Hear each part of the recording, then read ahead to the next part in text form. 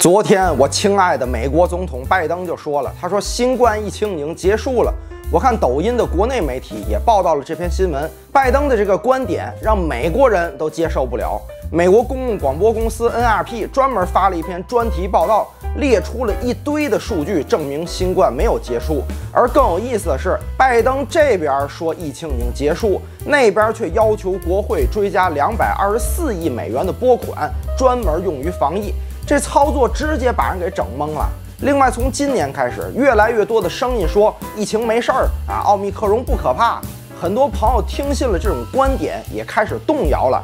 疫情持续了这么久，很多人开始感觉到疲惫，这是正常的。但是，奥密克戎真的威力降低了吗？咱们来看看一组数据，这是美国因新冠累计超额死亡人数的对比图。蓝色的是2021年，绿色的是2022年。由于2022年还没有过完，所以绿色只运行到了一半。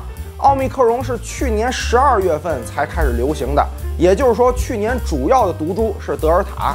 奥密克戎出来之后，西方国家都说奥密克戎比德尔塔温和，而事实的情况真的就非常打脸了。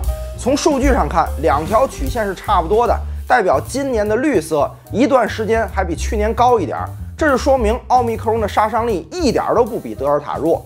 这直接导致的结果就是美国的人均预期寿命连续两年降低啊，从七十八点五岁降低到了七十六点一岁。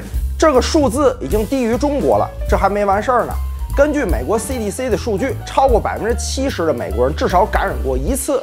目前，美国因为患上长期新冠后遗症的，也就是 Long COVID 的人，已经超过了一千六百万。这其中有两百万到四百万因此丧失了劳动力。看到这些残酷的现实，不知道那些鼓吹躺平的人还怎么嘴硬呢？